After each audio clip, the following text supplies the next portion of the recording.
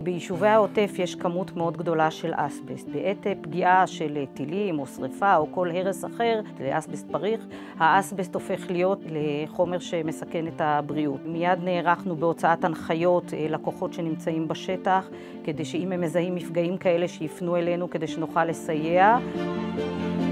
יש מפעלים חיוניים שאנחנו מדי יום בודקים רציפות תפקודית, כאשר ביניהם יש הרבה מאוד אתרי פסולת גדולים. שאנחנו דואגים לרציפות התפקודית, הכוונה גם למיגונית אם צריך, גם לאבטחה של הצבא אם צריך, כדי שהם יוכלו להמשיך לתפקד, כי מטבע הדברים כמויות הפסולת באזור גדלו מאוד, גם אם זה מפונים, גם אם זה כוחות צבא שנמצאים, אבל עם זאת אנחנו לא מקלים ראש בתפקיד שלנו כאחראים לשמירה על הסביבה.